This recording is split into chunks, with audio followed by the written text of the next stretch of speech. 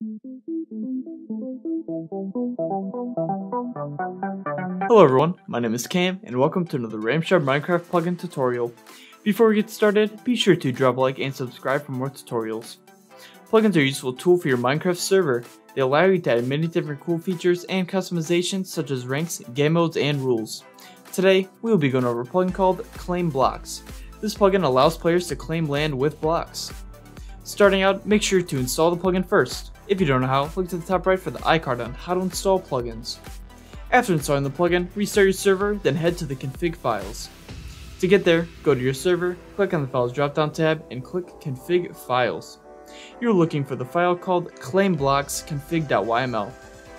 Here's everything you can configure for this plugin, so let's go over some of the important configurations. At the top, you can set the claim block. Automatically, it is set to red wool, but if you want to use something different, just replace the red wool with the other block ID that you want. Under that is the protection settings. Here is where you can enable or disable protection to specific actions like breaking or placing blocks.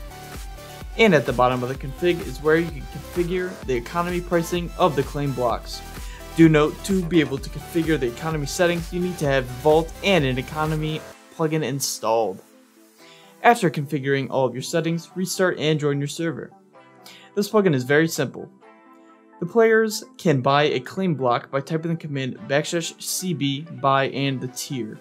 There are 5 tiers, with tier 1 being the lowest in price of $1,000 and tier 5 being the highest in price of $45,000.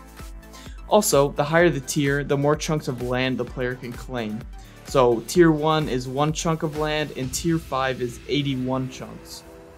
Admins can also give players claim blocks by typing the command backslash cb give the player name and the tier that they want to give the player. And to access the help page, type the command backslash claim blocks help. It's that simple.